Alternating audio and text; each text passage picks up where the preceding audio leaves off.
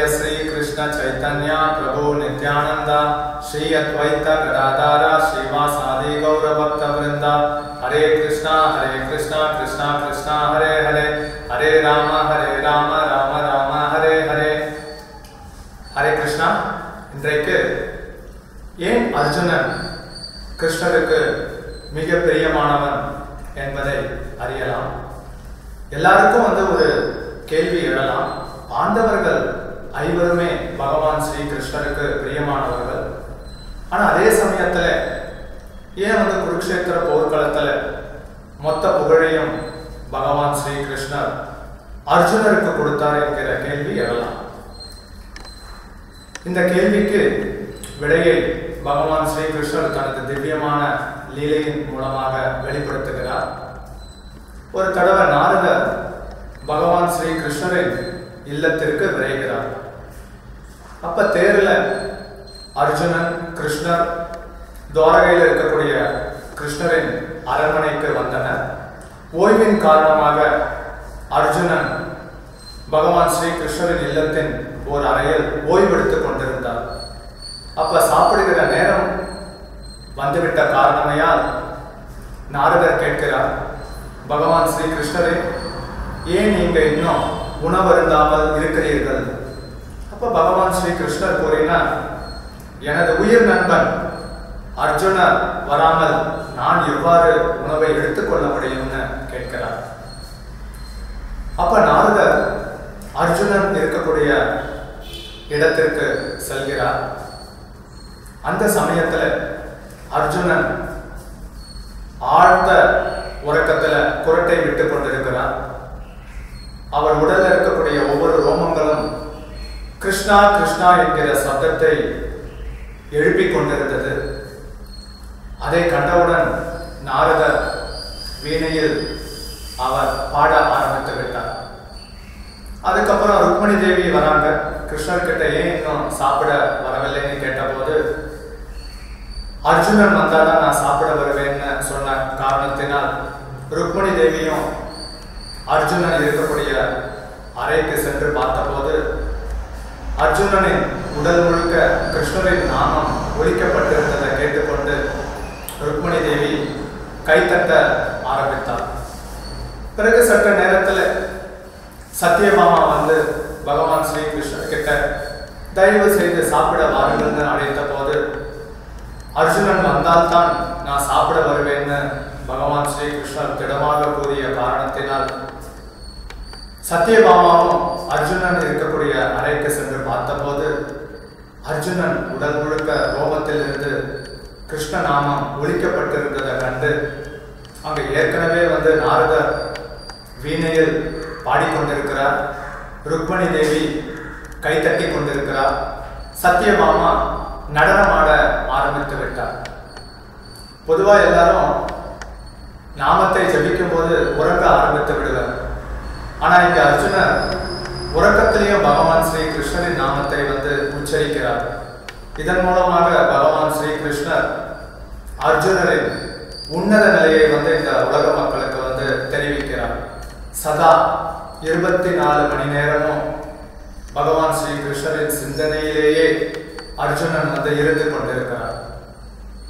அர்ஜுனன் ஒரு தடவை பிராமணர் அவரை அணுகிய போது அந்த பிராமணர் தனது ஏழ்மையை அர்ஜுனரிடம் விளக்கிக் கொண்டிருக்கிறார். உடனடியாக அர்ஜுனன் தங்க பொற்காசுகளை அந்த பிராமணரிடம் கொடுக்கிறார். ஏழ்மையின் காரணமாக பிராமணர் துயரிட்டுக் கொண்டிருந்தார். அந்த பொற்காசுகளை வாங்கிக் கொண்டு அவர் தனது இல்லத்தை நோக்கி சென்றபோது கயவர்கள் அந்த பொற்காசுகளை திருடி ஓடி சென்று விட்டனர். அப்ப அந்த பிராமணர் அழுது கொண்டிருக்கிறார்.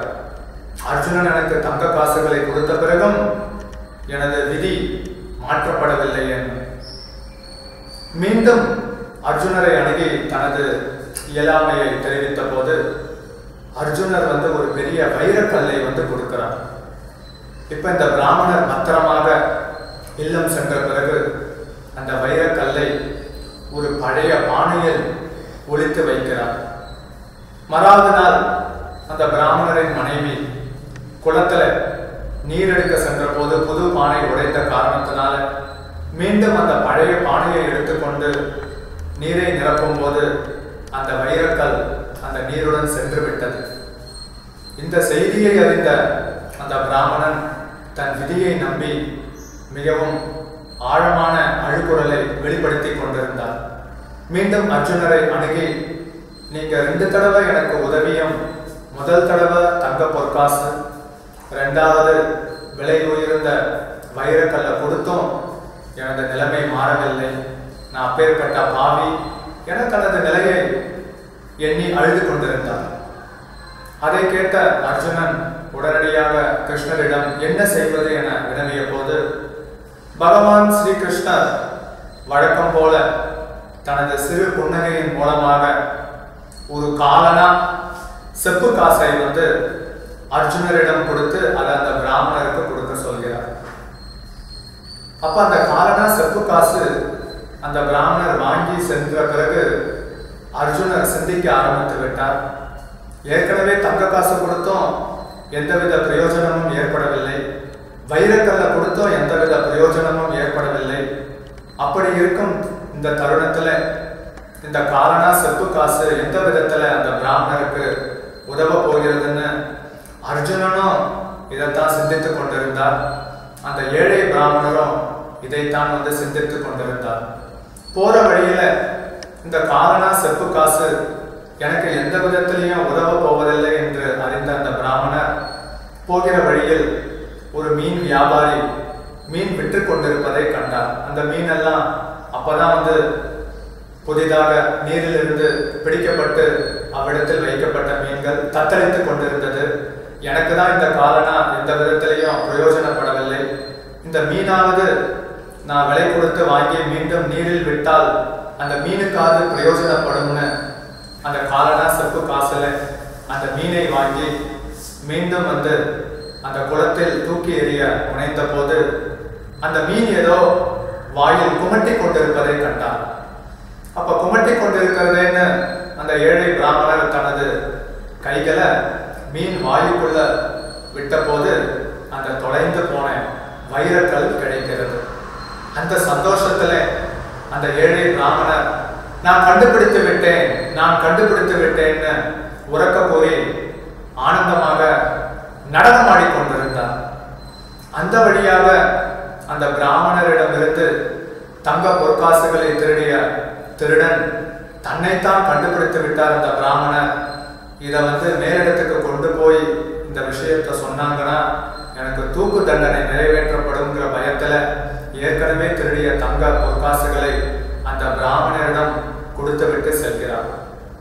இந்த கதையின் மூலமாக பகவான் ஸ்ரீ கிருஷ்ணர் நமக்கு என்ன செய்தியை கொடுக்க விருப்பப்படுகிறார்னா முதல்ல வந்து தங்க பொற்காசு வைரங்கள் கிடைத்த போது தனது குடும்பத்திற்காக தனது குடும்பத்துக்காக இது மகிழ்ச்சியை உண்டாக்கும்னு நினைத்து கொண்டு சென்றார்.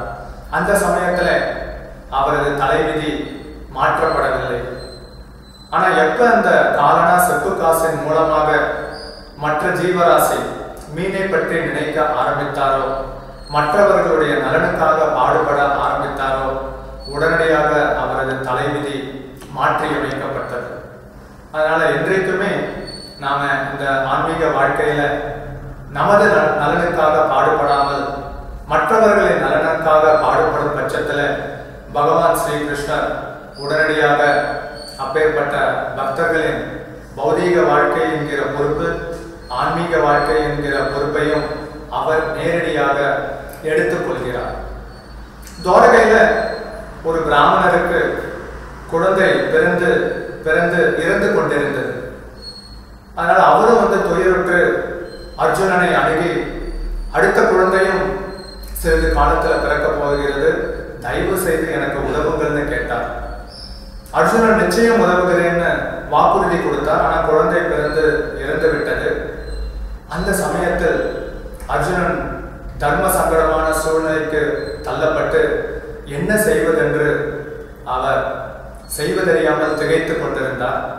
அப்ப பகவான் ஸ்ரீ கிருஷ்ணர் அர்ஜுனனிடம் நாம இரண்டு பேரும் ஒரு லோகத்திற்கு போகலாம்னு வருண லோகத்திற்கு செல்கின்றனர் வருடலோகத்தில் அங்க பகவான் ஆதிசேஷன் படுக்கையில சயனித்துக் கொண்டு கிருஷ்ணரை உங்களையும் அர்ஜுனனையும் ஒரு சேர்ந்த பார்க்க நான் விரும்பினேன். அதன் எதிரொலியாகத்தான் அந்த பிராமணரின் பிறந்த குழந்தைகள் எல்லாம் மடிந்தனர்னு அந்த குழந்தைகளை திருப்பி கொடுத்து விட்டார்.